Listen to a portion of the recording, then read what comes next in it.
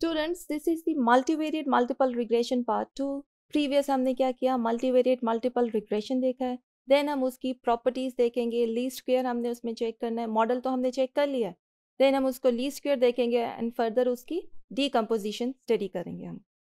Now here is the least square first is the model previous हमने check किया now is the least square estimation In this subsection, we will apply the least square method to estimate the model parameter b. A model parameter, आपके पास model क्या था? Basically, we have the model y which is equals to x b plus e.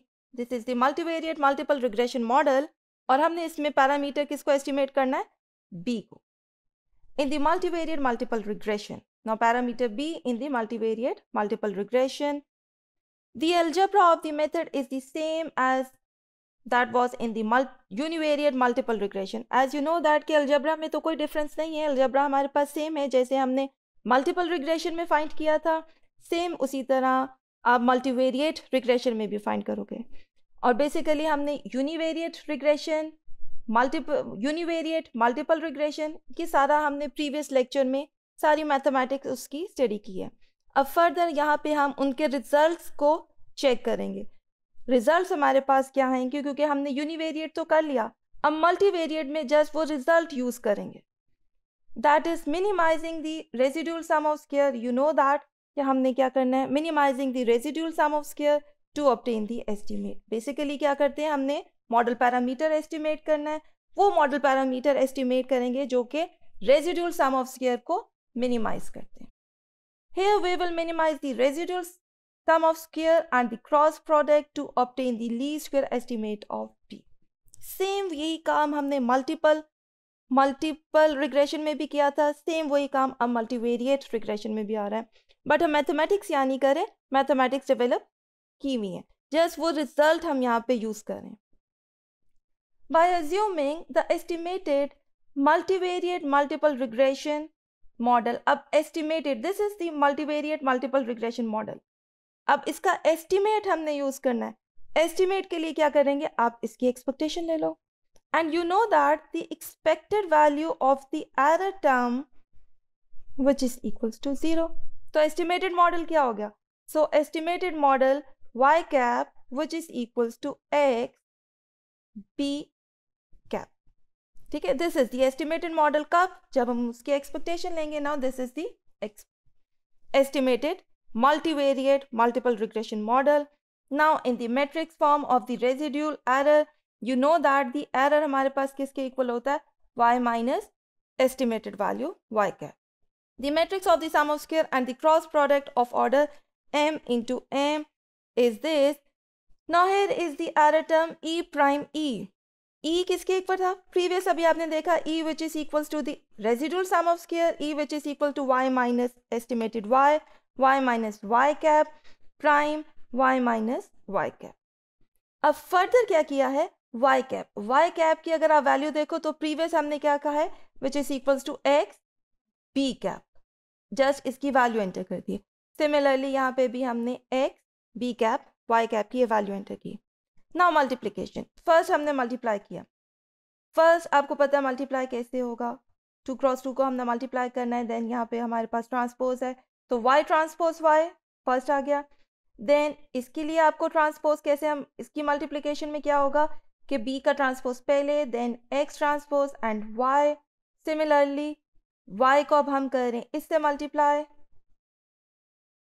यहाँ से multiply करेंगे so Y transpose X into B cap and last minus multiply by minus which is equals to plus b prime b cap prime x transpose then x b cap this is called the equation number one अब e prime e से हमारे पास result generate हो गए equation one आई है equation one को अब हमने क्या करना है पार्शियली डिफ्रेंशिएट करना है इक्वल्स टू ज़ीरो रखेंगे और एस्टिमेटेड b की वैल्यू जनरेट करनी है In order to obtain the least square estimator of b, estimator चाहिए हमें b का we partially differentiate equation 1 with respect to b cap and equate equals to 0.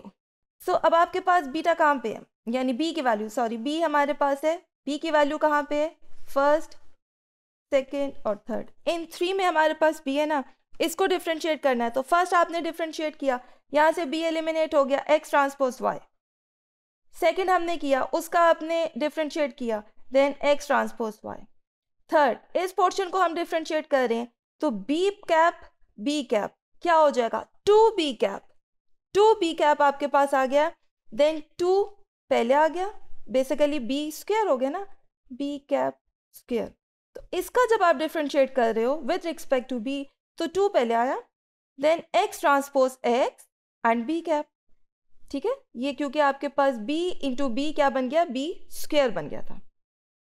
Which is equal to zero first derivative को equal to zero हमने रख के estimated b की value निकालनी है। सो अब बी कैप किसके इक्वल हो गया? Which is equal to this यहाँ पे आपके पास ये दोनों फैक्टर क्या हो गए? This is equals to two क्योंकि माइनस माइनस आपके पास है minus two X transpose Y which is equal to the two minus two X transpose X B minus two minus two cancel out B cap और ये वाली term denominator में यहाँ पे डिनोमिनेटर में जाएगी ना तो डिनोमिनेटर को हम अगर न्यूमिनेटर में लेके आए तो क्या होगा इसका inverse X transpose X inverse और ये फैक्टर मल्टीप्लाई हो गया then X transpose Y estimate हो गया हमारे पास बी बी की वैल्यू आ गई. Then further it is interesting to note that the least square estimated B cap of B can also be obtain by using the following technique further हम इससे भी उसको फाइंड कर सकते थे। अच्छा अब आपको ये भी पता होना चाहिए कि ली स्क्वेयर एस्टिमेट में हमारे पास एक्सपेक्टेड वैल्यू ऑफ़ बी वो किसके इक्वल होगी? Expected value of B cap which is equals to the B ठीक है? सेम वही उसने कहा है। Note that the Lee square estimated B cap of B can be obtain by using the following technique. From the single response variable regression, we have the least square estimator of the model parameter b. अभी हमने drive किया। Collecting the univariate ली square estimate अब univariate ली square estimates आपको पता है, हमने अभी वो मॉडल किया है। प्रीवियस मॉडल में बी कैप था क्या था? First B one second variables के साथ B two up to so on B P further इसको लिखा कैसे? ये तो आपको जस्ट इसमें एक्सप्लेन किया है। फर्दर क्या लिखा है? This is the X transpose X whole inverse X transpose Y Y क्या था हमारे पास? प्रीवियस लेक्चर में हमने देखा है कि y हमारे पास क्या था? Y one y two and up to so on y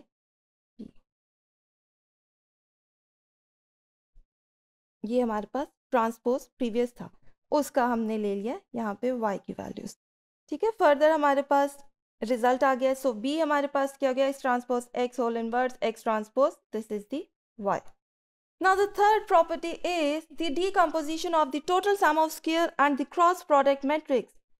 Decomposition में हमने क्या decomposition की है total sum of square and the cross product matrix.